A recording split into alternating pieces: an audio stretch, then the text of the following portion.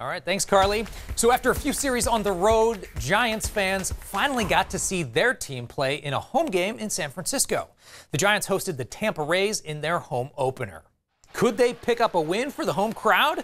Bottom of the eighth, Giants down 5-2, bases loaded. Their newest player, Kevin Pillar, at the plate, and he grounds into a double play.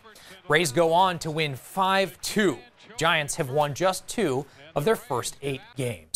Meanwhile, the Oakland A's are definitely having a better start to their season, but playing the defending AL West champs, the Houston Astros.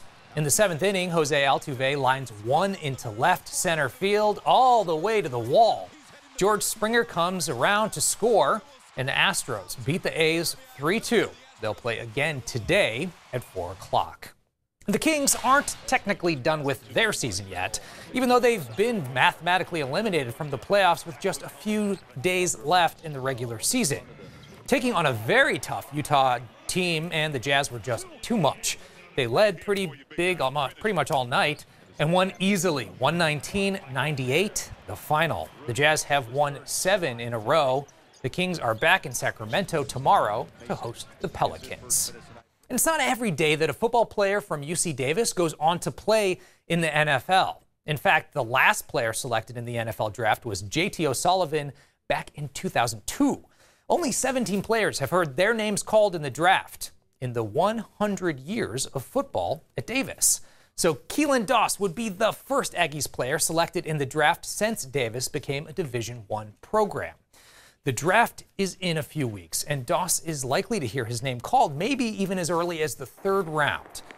All eyes were on him yesterday. Close to 20 NFL teams attended his pro day workout in the rain. Doss was the nation's leading receiver in his junior year and returned to Davis for his senior season, leading the Aggies to a Big Sky title. His eyes are now glued on going pro, and he talked to us about what he wanted NFL executives to remember about his workout yesterday. I want to let them know that, you know, if you draft me, you'll get a guy that's a hard worker and um, for the team.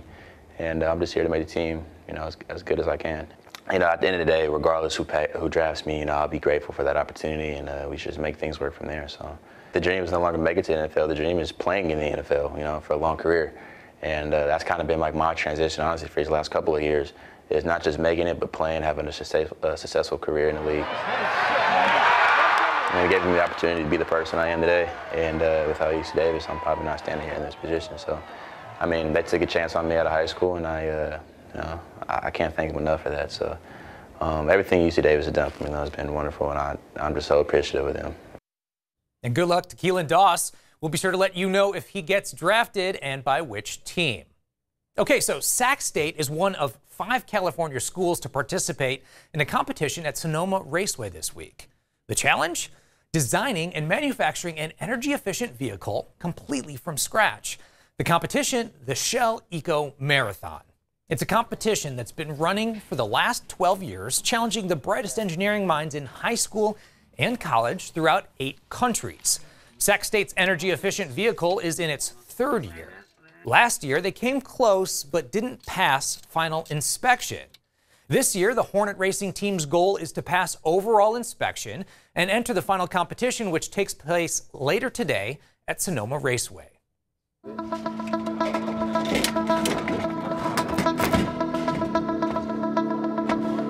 My name is Adrian Calderon. I'm currently a senior at Sac State. My name is Brian De Dios. I'm a senior here at Sacramento State studying mechanical engineering especially with family, um, they don't always seem to, to, to realize exactly uh, what is it that I'm doing. They just know that I'm working on my car.